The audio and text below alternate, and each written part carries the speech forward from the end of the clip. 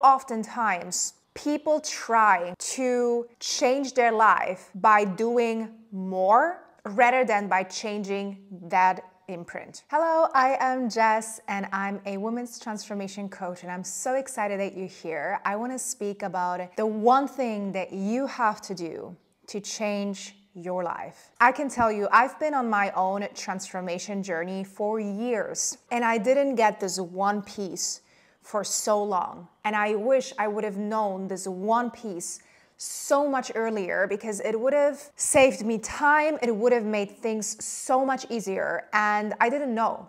I didn't know what I didn't know. Let's talk about um, being a human being with an experience on this planet Earth, how you want to call it, and knowing that the moment that we are born, we start to receive imprints from the environment, from our people in our life, from the people that are raising us, our grandparents, parents, teachers, friends, all of the experiences that you are having since being a baby, all of that gets imprinted on you and creates you, the human being that you are today. It makes you believe certain things, it makes you see the world a certain way. It is also the reason why you are where you are right now. Oftentimes, people try to change their life by doing more rather than by changing that imprint. That imprint is like a deeply ingrained belief system, like a deeply ingrained part of you. And as we grow up, many of us are not questioning the truth of these imprints. We believe this is just what it is, this is just who we are, and we don't challenge ourselves to understand or to realize that that imprint is no longer serving our highest self. We can also see it in a way where people say, oh, I'm just a procrastinator, or I'm just like this or that. Well, oftentimes that stems from that imprint you have gotten and received, and you never questioned to change that imprint. You never questioned to change the way that you live in this world. There are great examples of people who have had a certain imprint in their life that if they would have continued with that imprint, they wouldn't be where they are today, right? When we look at very successful people who literally worked themselves from the ground up, understood this concept as well, that they needed to change the foundation of who they are at the core. In order for this to not be too complicated and too dramatic, instead of trying to change the entire imprint, the first step to changing your life is by realizing that right now there are parts of you that are no longer serving you. There are parts of you that you got to let go of. That letting go process is harder than creating a new habit. Many people try to create a new habit and fall off very quickly. The reason for that is not that the habit is too hard or too complicated or not attainable. It's because their old imprint is not familiar with this new habit and their old imprint doesn't like the unfamiliar. Many of us, we are living in our comfort zone. If we like our life or we don't, we still have a comfort zone that we live in in an unconscious way. Many people like to stay in that comfort zone even though they don't like their life as it is right now, rather than to try to do things differently to step outside of that comfort zone. Because that in a person's mind creates uncertainty and can create a feeling of unsafety. Because as we're in a comfort zone, even if we might not like our life right now, this is the familiar. We like to be here. So once we step out of that, that can feel scary that can feel like this is new. What does this mean? What is going to happen? And a lot of people don't like that feeling of uncertainty. In order for us to be able to step outside of that comfort zone and to create a new habit, to create a new life,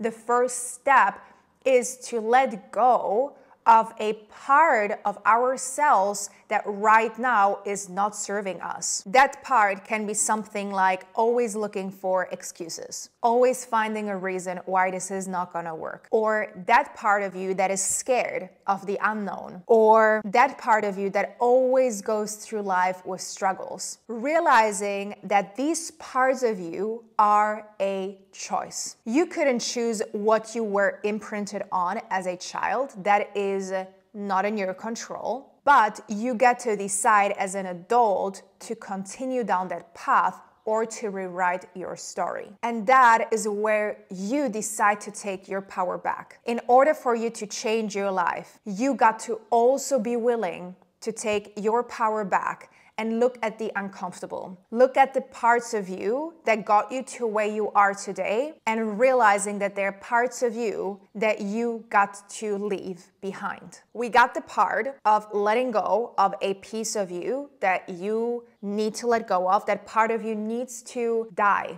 in a way. That doesn't mean that this part of you will no longer exist. You choose for it not to come up. It's a conscious choice that also will require you to become conscious of the life that you're living, to become conscious of the thoughts that you're having, of the feelings that you're having, and realizing that maybe in some moments, these thoughts and feelings that you're having are not serving you or your growth. In a way, it also starts with becoming very, very clear on what it is that you want, what it is that you don't want, and recognizing that whenever you're falling back into old patterns, it's recognizing that these old patterns are showing up for you to be able to shift them again. This is not a process of doing it once and it's happened and it's integrated. No. This is a process of dedication and of consistency. Rather than focusing on what you have to do on the physical, it's focusing on who you need to be and what parts of you are not welcomed in that new version of yourself that you're creating. Because once you do that, when you let go of the parts of you that are no longer serving you, you will start to see that you will make different choices. You will take different actions.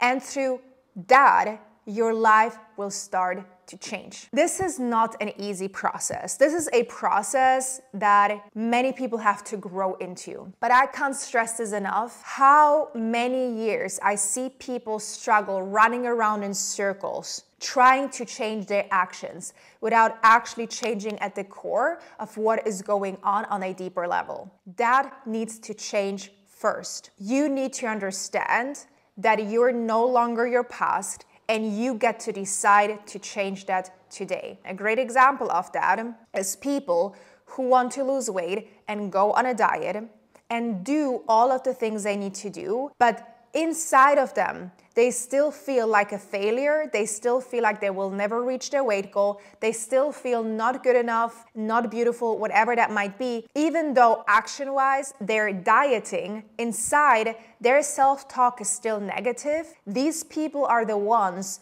that go on a diet and fall back into old habits because they haven't changed that imprint of who they think they are at the core. This type of work will not immediately have its effects. If today you say to yourself, okay, I will start being kind to myself, instead of saying mean things to myself, myself, I will start being kind to myself. You might not believe it the first, second, or third day yet. It might not make any sense to you when you start saying those things to you. But I can tell you that with time, your unconscious mind will follow through. Because think about it. You've been living with that imprint for how many years? However old are you? You've had a certain imprint you've been living by for so many years. So many years. If you've heard as a child since you were, I don't know, four or five years old that you're not good enough, you're carrying this imprint into your 40s if you don't decide to change that today. If for three days you tell yourself that you are good enough and you don't feel a difference yet, it's normal because for 40 years, you've carried that imprint of not being good enough. So, what needs to happen is you got to stay consistent and you got to look for proof that the moment you start to change your self talk, you let go of the parts that are no longer serving you, whatever that is, you will also start to see differences in your life. And these pieces should be the proof of how capable you are to change your life. I believe in you. You got this. So ask yourself as a little homework today what parts of you do you need to let go of? And start small. It doesn't need to be a million parts right now. But ask yourself, what one part of myself, if I let that go, I know my life will look different.